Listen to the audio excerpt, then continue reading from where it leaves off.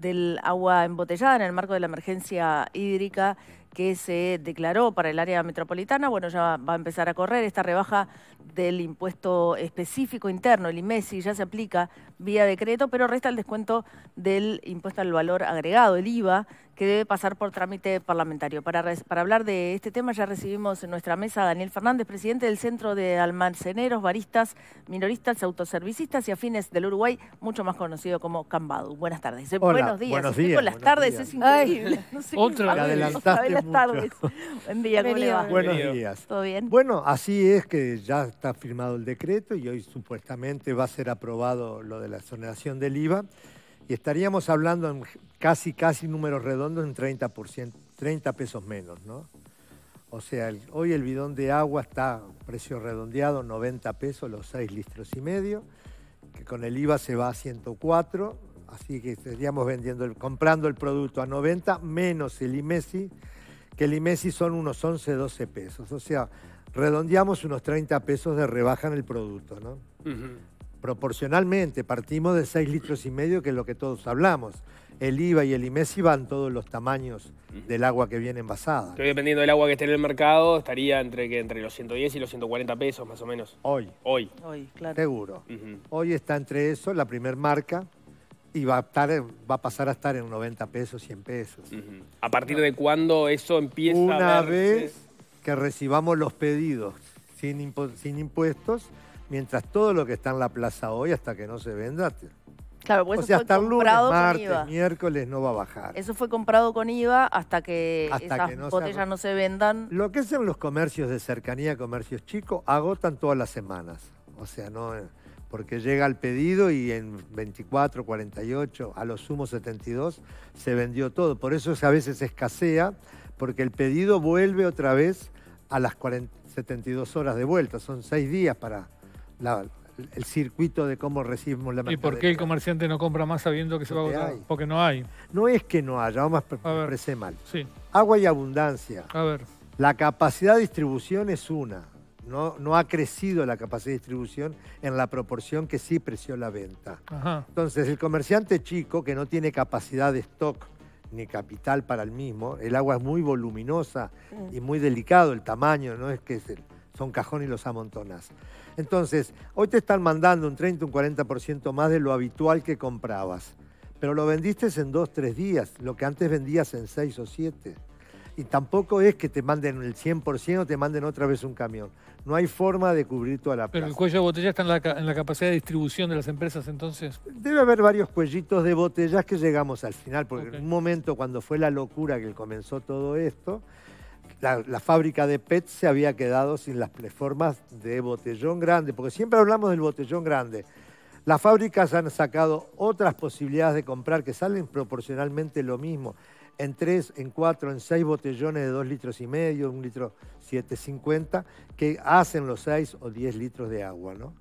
Pero eh, la gente seguimos con avidez de comprar y cuanto más se habla que va a demorar más el agua potable, aceptable como siempre la tuvimos, Probablemente todos seguimos cargando y todos tenemos en casa un esto de acuerdo al bolsillo de cada uno. Y cuanto empeora el agua, porque recordemos que la, la primer bajada de calidad todavía estábamos casi todos cocinábamos con ese agua, pero ahora ya... Eh, si aumenta esa salinidad no lo vamos a usar. las distribuidoras aumentaron, dijo recién, entre un 30 y un 40% la, eh, los productos que envían a los comercios, pero la demanda aumentó más que eso, no fue directamente proporcional. Hoy, hoy que estamos en una meseta, estamos 100% más el consumo que lo que hace cuatro meses atrás.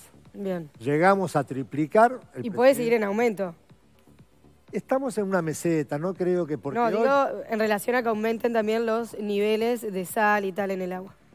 Puede ser que crezca un poco más el consumo, pero no, no, no sé, eso es impredecible. Lo, que veía en un, informe de, la diaria, en un artículo de la diaria, en base a la información relevada por el, por el radar de, Scantec, eh, que es que el agua ha crecido más proporcionalmente en, digamos, en lo que vendría a ser, o ha crecido menos proporcionalmente en los barrios costeros que en los barrios de la periferia. Es decir, me imagino que la lógica es, en, la costa de Montevideo se consumía mayor eh, agua embotellada, entonces el aumento de quienes salieron a comprar es mayor para el resto de los barrios. Eso da cuenta, digamos, de que los que están saliendo a comprar y antes no, lo tenían como parte de, su canasta son este, los que menos tienen en términos proporcionales. eso, es, así. Es así, efectivamente.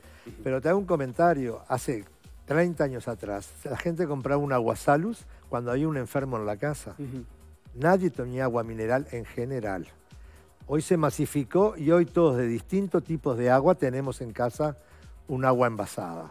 Hasta la gente más humilde y más carenciada, que ahí se vio más el incremento de la compra, pese que hay gran ayuda del, del municipio con el plan ABC, que regala como a 3.000 personas por día le está dando agua, lo que da el Ministerio de Medio Ambiente, lo que dan, o sea, hay muchísimo agua que se está dando, que es agua que sale de las plantas. ¿Hubo, mm, algún problema logístico en estos días entre que se anuncia la medida y se implementa porque algunos comerciantes estén esperando a poder comprar más barata y entonces están aguantando los pedidos ahora? No, porque como venís atrasado, hoy hay un atraso de una semana en los pedidos. La gente llega y la recibe y sabe que la vende mañana, no es que lo voy a vender dentro de 15 días y me voy a clavar y se agota todos los días. Es un producto que sale con una fluidez que... Y previo a que el presidente de la República anunciara esta medida, ¿existió algún intercambio entre las autoridades y Cambadu para valorar las implicancias de llevarla a cabo? No, no, no, con nosotros no se habló. No fueron consultados. No, no, no. Eh, ¿Cuál es la diferencia con las grandes superficies? Porque mencionaba que el problema era que estaban teniendo las pequeñas superficies es con el, con el tema del, stock. Ahí, eh, digamos, ¿la frecuencia de reparto para las grandes superficies se puede ajustar de una manera distinta que con las pequeñas superficies? Hay una razón. Las grandes superficies primero tienen capacidad de estoquear, tienen capacidad de depósitos y tienen contratos muy fuertes con las empresas que no les pueden retasear nada porque si no tienen fuertes multas. O sea, si el contrato era que tenía que venderle 10.000 litros semanales, si le faltan unos litros, caen grandes multas. Por lo tanto, tú vas a las grandes superficies, están faltando tamaños también, ¿no? Pero tienen producto, que a veces nosotros, los pequeños, no logramos tener esa fluidez de toda la línea. O sea, con, con, ustedes sí se pueden estar dando algunos atrasos que no se dan con las grandes superficies. Es cierto, es así. Bien. y respecto a los a los volúmenes este, de, los productos, me imagino lo que está faltando más es, bidones. El bidón, porque todos generamos el bidón, que es algo sumamente incómodo para manejar en la casa, pero todos siempre buscamos el bidón. pero hay una cosa que hay que decirla. Las plantas, la primer planta con un arreglo con el personal están trabajando los domingos y envasando. Otra planta primerísima puso una nueva planta de envasado, duplicó el envasado y ojo, el agua nadie gana dinero, porque son mínimos los márgenes del comerciante, el productor, el intermediario, todo es una cadena muy reducida. Tiene volumen. O sea que se saca producción, se saca, pero todos consumimos más. Y en el caso de que los, los números del agua siguieran empeorando, como manejó el presidente ayer en la antes de ayer en la conferencia, que dijo que era una posibilidad que el agua se siguiera eh, afectando con más salinidad y más cloruros, ¿hay alguna otra forma, algún mecanismo de que el agua baje más de precio para consumo? No. No, porque los impuestos sacados, o sea, los impuestos ya están todos. Nadie más puede bajar, sus, reducir sus costos ahí tendrían que entrar a, regalar agua. Claro, Ahora, a subsidiarla. Mm. Sobre ese tema escuchaba hoy de mañana al presidente del sindicato de OCE, Kramerman, que por un lado eh, felicitaba de alguna manera al gobierno por haber tomado esta resolución que él decía que era atrasada, pero que era buena, la de sacar los impuestos, pero se permitía dudar que todos los comerciantes fueran a aplicarla, ya que el gobierno no lo había hecho obligatoria ni había puesto un tope tampoco de precios. ¿Usted lo descuenta, digamos, que que va a ser generalizada el traslado de los precios? Yo dije ya en varias entrevistas que el primer fiscal tenemos que ser los ciudadanos y exigirle a ese comerciante, porque este tema hoy está en tapa toda la prensa. Quiere decir que mañana cualquier ciudadano medianamente informado sabe que el agua va a bajar entre 20 y 30 pesos. Lo que hoy pagaba 140, mañana si le cobran 130, 140, le va a decir, no seas malo si te bajaron 30 pesos. Mañana no, el lunes. El lunes. El lunes, el martes, cuando llegue. Quiero decir con esto que también tenemos que exigir los ciudadanos. Los comerciantes, el comerciante del barrio vive con los vecinos, es parte de los vecinos. en lo que no menos puede abusar en cosas de primerísima necesidad.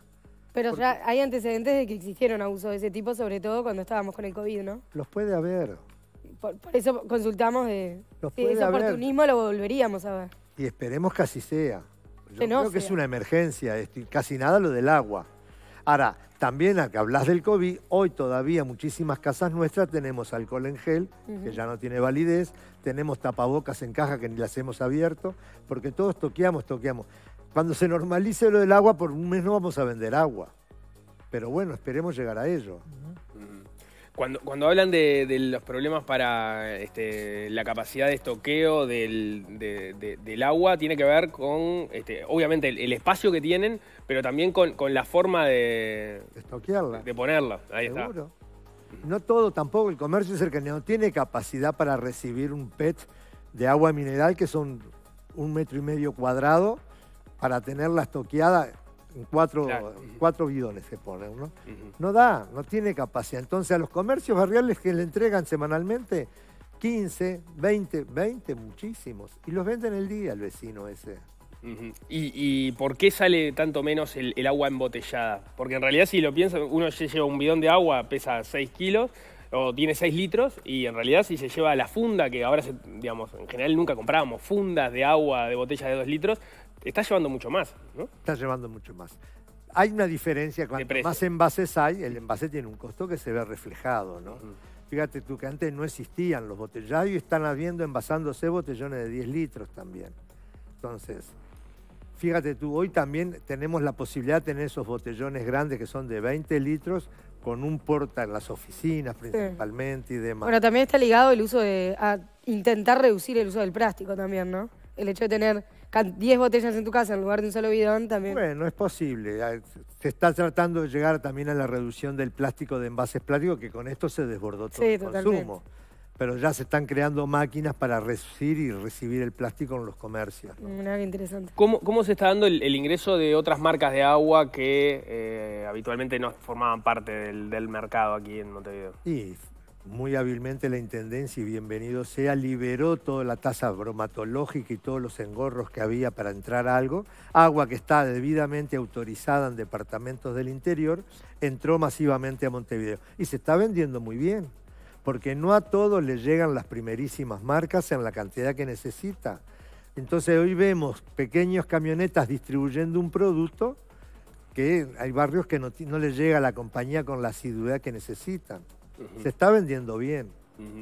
Me imagino que también hay un tema de, estas empresas de poder eh, hacer conquistar frente a, claro, hacer, no y hacer frente a, la gran demanda que hay. Bueno, al haber demanda inmediatamente que hay ofertas, la cubren quienes no pueden cubrir, que son las primeras marcas. Y, la relación ahí para conquistar mercado, justamente, cómo, cómo se da la interacción entre el pequeño comerciante y la pequeña marca embotelladora de agua del interior. Y al no tener producto la recibe con ganas. Una vez que se normaliza, muy difícil que continúen esas marcas, porque somos muy marquistas en el Uruguay. A veces cuando pedimos agua mineral pedimos por el nombre. Sí, claro. Nos dan otra, igual no importa, pero pedimos un nombre. O sea, nos pasan varios productos que somos muy marquistas. ¿Y hay, mucha diferencia de precios? Hay diferencia de precio, porque esas, esos botellones de 6 litros de aguas que son del interior están 90, 99 pesos. Hoy. Hoy. O sea que además si entra a jugar el... Bajarán a 70 pesos. termina siendo una diferencia importante. Es una diferencia importante, sí. Antes de cerrar, eh, Fernández, quería consultarle si está hablando con los comerciantes del interior, en especial de la frontera, para ver cómo sigue la situación.